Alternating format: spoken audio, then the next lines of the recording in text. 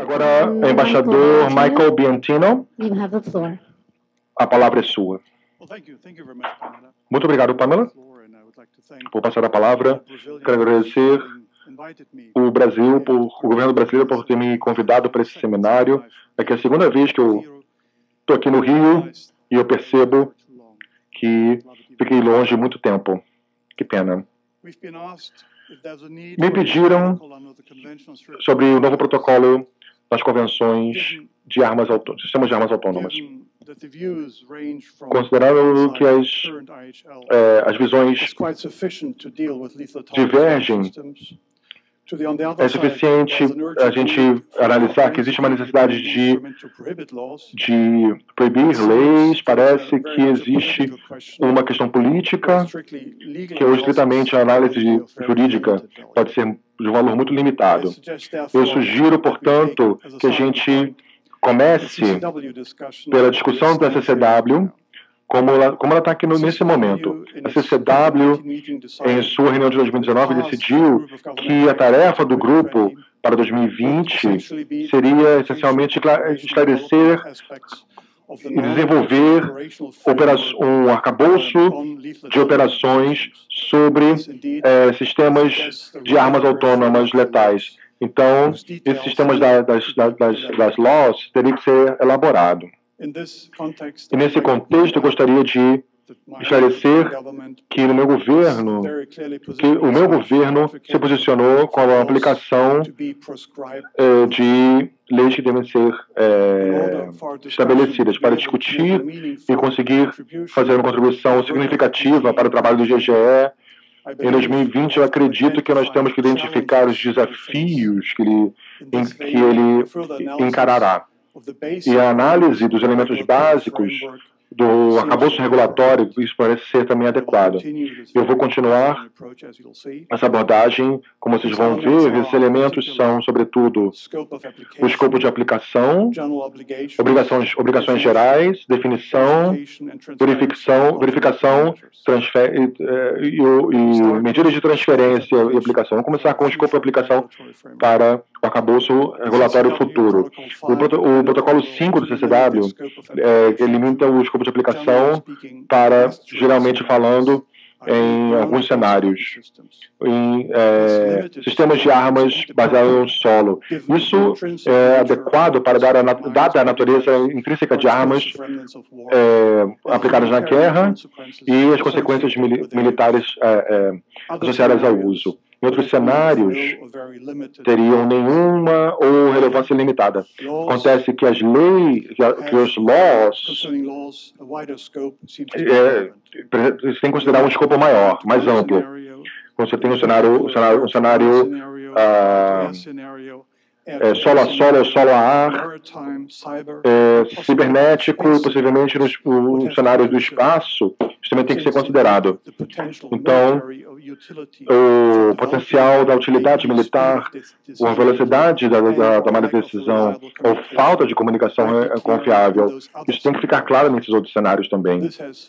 E isso tem consequências muito, de, de longo tempo, considerando a, a exigência de, de, de distinção, proporcionalidade e precaução que, as, que os laws têm que cumprir para, é, para, cumprir, para cumprir com as leis humanitárias internacionais, sobretudo no ambiente, para que as leis consigam distinguir uh, alvos civis, autônomos, militares e, e, dar o valor desses alvos sem efeito colateral. E a decisão para participar dessas conversas nas circunstâncias atuais parece ser uma tarefa impossível. Só que fica claro que a autonomia tem que ser, muito, tem que ser analisada com muito cuidado relação ao compromisso, desde identificar é, alvos militares até as funções críticas da seleção e do compromisso. Por outro lado, por exemplo, você tem um cenário militar, militar, militar você tem é, identificar alvos legitimamente militares, como as lojas estão agora, você vai ter que pré-identificar é, alvos. Portanto, o risco de, de, efeito colateral não seria tão relevante ao mesmo, ao mesmo grau. Isso implica que as exigências de, de distinção, proporcionalidade, proporção e precaução nas leis humanitárias internacionais seria uma aspiração realista. Futuras negociações para outros arcabouços legais podem talvez enfrentar o desafio para distinguir cenários diferentes e definir o escopo de aplicação e também o apropriado abordagem de obrigações no cenário específico. Isso, obviamente, dentro do arcabouço regulador de IHL, proibindo danos colaterais excessivos que tem que cumprir com qualquer outro cenário com uso de laws. E vamos passar agora para outro desafio: obrigações gerais em relação ao arcabouço futuros. CCW realmente proíbe, em princípio, o uso de algumas armas, mas a discussão GGE foi além do uso das armas. A questão foi levantada se uma abordagem em relação à compra, transferência ou fabricação desse tipo de armas tem que ser abordada. Essa abordagem tem outros desafios para futuras negociações. É entendido que os sistemas de armas autônomas têm sido é, desenvolvida por civis e o desenvolvimento de qualquer componente de qualquer loja deve ser de uma natureza devida. Um arcabouço regulador em, loja tem que assegurar que as obrigações relevantes não infringem o progresso ou acesso à pesquisa e desenvolvimento civil. A segunda etapa parece útil diferenciar entre esses diferentes cenários que eu mencionei. A fim de especificar as obrigações de IHL, o desenvolvimento do governo e o uso de tecnologias emergentes na área de loss. Por um lado, aborda todos os riscos para ser disfuncional, por exemplo, quando comparado a ambientes altamente complexos com o a parte de submarinos. Quando se usa o uso e transferência, as seguintes opções foram discutidas em CCWD. Uma opção discutida foi uma, um conjunto de diretrizes ou comprometimentos para futuros desenvolvimento de leis 11 princípios endossados pelo CCW na sua 29 reunião contém essa abordagem que especificamente pode reconfirmar importantes princípios como a necessidade de responsabilidade para ser assegurada através do treinamento responsável de comando e controle mas para poder servir como diretrizes ou compromissos positivos para futuros desenvolvimentos, esses princípios têm que ser operacionalizados de maneira que conclusões concretas possam ser obtidas. Um arcabouço regulador contendo esses compromissos positivos pode ser eficaz com diferentes graus de diferidade e respectivos de sua natureza, código de conduta, é, até um instrumento de vínculo político. Também outra opção discutida foi um arcabouço regulador contendo o desenvolvimento de uso, compra e de lote. Nesse caso, foi argumentado que apenas pouca vai garantir essa severidade. A terceira opção era o desenvolvimento e uso de lote, no interim foi proposto. Como as negociações futuras discutidas em detalhes, as opções serão especificamente terão que enfrentar os seguintes desafios. Que opção é a mais apropriada nos diferentes cenários? Segundo, até que ponto a efetividade vai depender numa compreensão compartilhada ou definição do que constitui esse sistema de armas autônomas. Isso me leva ao próximo desafio, que é a definição. As definições sempre têm sido o inimigo central para qualquer arcabouço regulador. No controle de armas autônomas, mas as abordagens são bastante amplas. Em alguns regimes, na área nuclear, por exemplo, o PPDWNT são baseados na compreensão geral. O que é uma arma nuclear? e, por outro lado, seus usos são muito importantes também. Por exemplo, armas químicas, a sua convenção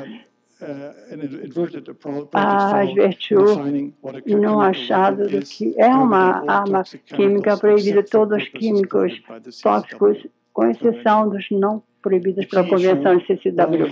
O problema principal é esclarecer e delimitar que sistemas têm que ser cobertos. Pela obrigação, pelo regulador, temos que mostrar que nenhum sistema relevante são deixados de lado.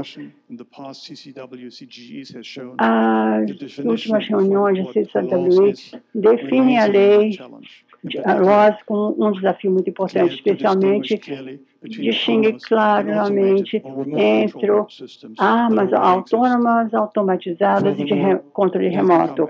Também se torna evidente que qualquer acabouço regulador idealmente teria que distinguir lojas de outros sistemas, especialmente como foi mencionado, sistemas automatizados com parceiros pré-definidos.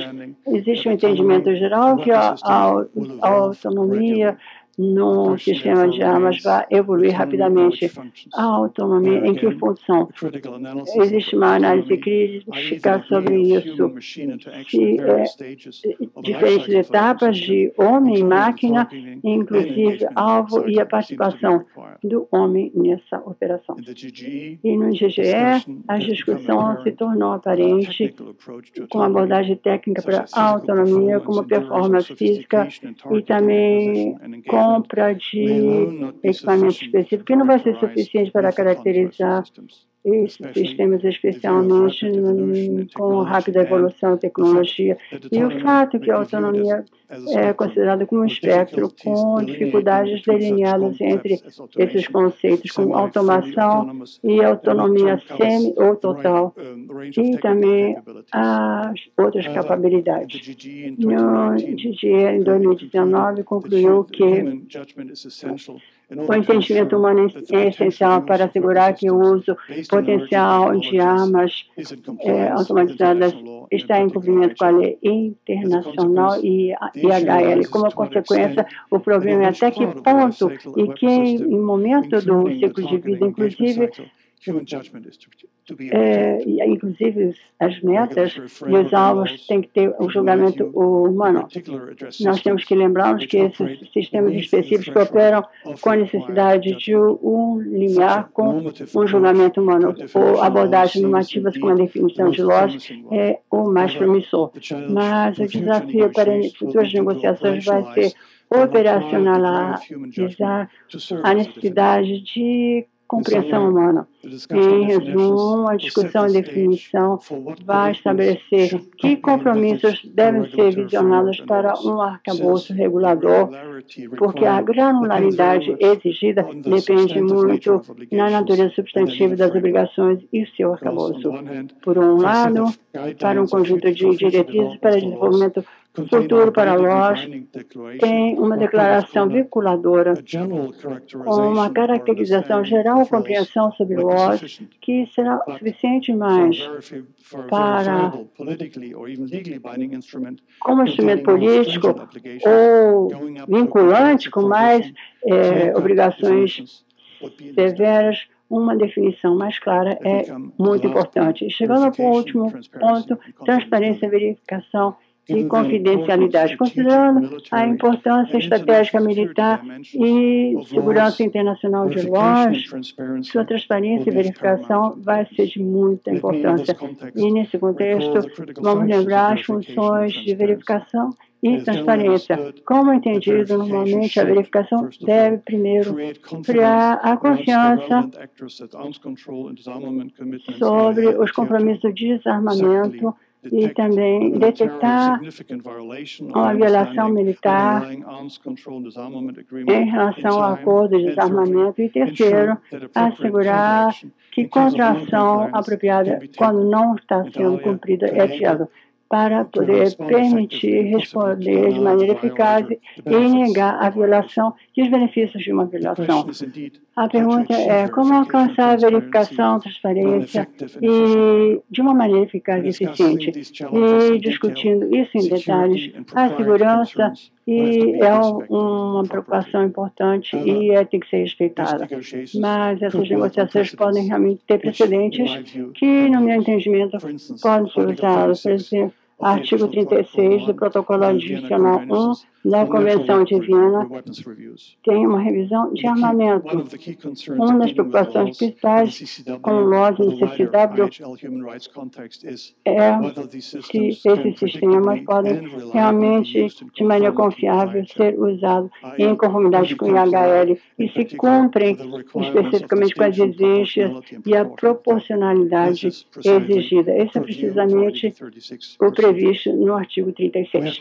Temos que perceber, assim, mesmo assim, que a verificação, confiança e confidencialidade não tem sido muito bem abordada. A consequência de uma própria técnica e procedimento de verificação tem que ser iniciado cientificamente falando também. Isso é muito importante nesse contexto. E vou fazer os comentários finais agora. Os elementos de um arcabouço regulador, como o escopo de definição, obrigações gerais e verificação possível, transparência e confiança dependem se estão interrelacionados uma com a outra. É pouco possível fazer isso isoladamente, porque o GGE 2020 vai considerar primeiro os aspectos legais, tecnológicos, militares e a interação entre lembrar a configuração ética e também a perspectiva para um arcabouço normatizador para o sistema autônomo de armamento. Considerando-se sobre o GG, não tem discutido todos os elementos com detalhes suficientes eu acho uma abordagem pragmática pode ser considerada. Se começarmos com identificar claramente as diretrizes que precisamos para operacionalização nessa área, o progresso parece ser possível, especialmente se isso não tem que ser baseado numa definição muito clara. Segundo, determinar o arcabouço apropriado para essas diretrizes, vinculando politicamente o código de conduta. E terceiro, trabalhar em diferentes cenários e desafios para a IHL em conformidade. Quarto, trabalhar numa definição de operacionalidade para a LOT e também transparência e confiança. E para combinar com diferentes exigências e normas para medidas de precaução necessárias em diferentes cenários. Muito obrigado.